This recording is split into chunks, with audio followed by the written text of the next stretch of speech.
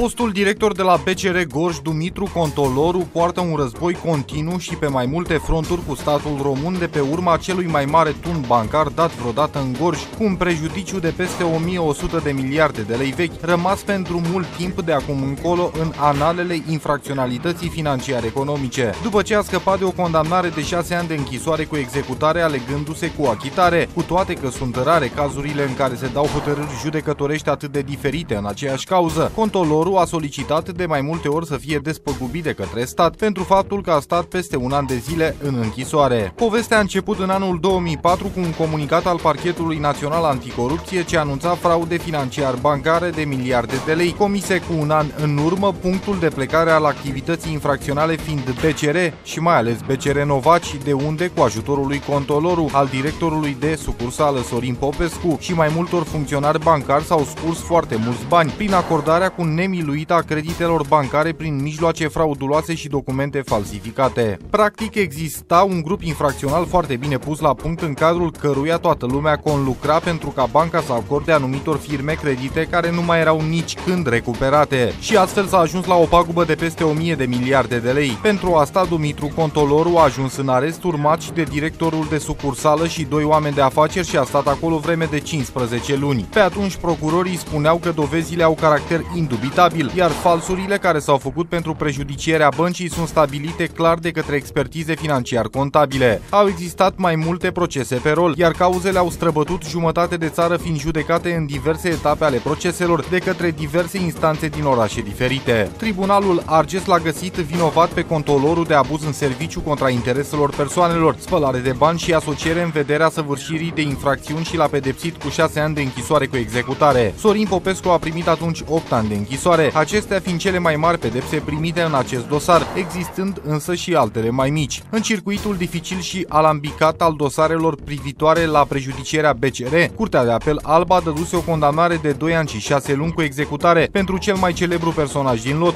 Dumitru Contoloru. Tot atunci instanța găsise principalul vinovat în cauză, omul de afaceri Petre Țârdea și el beneficiar al creditelor ilegale de la BCR Novaci. Acestuia magistrații i-au dat cu ușurință o pedeapsă de 8 ani cu executare că doar murise cu un an în urmă și n-ar mai fi contat nici dacă ar fi fost condamnat pe viață. După condamnarea de la Argeș, Curtea de Apel Pitești a desfințat sentința și dosarul a fost trimis spre rejudecare. Până la urmă, nimeni n-a mai făcut nicio zi de pușcărie, iar Dumitru Contoloru a obținut de la CEDO o despăgubire de 1500 de euro de la statul român pentru că ar fi stat nejustificat în arest. Însă nu toate cauzele au ajuns la final, mai existând și în prezent procese pe rol cu privire la cazul BCR. Între timp, în 2013, Contoloru Doru a depus o plângere la Tribunalul Gorj prin care cerea să îi se reconstituie vechimea în muncă pe perioada în care a fost arestat, dar și să fie despăgubit. Generozitatea tribunalului în speța respectivă a fost cu siguranță apreciată de către contolorul. La vremea respectivă, el primind despăgubiri de peste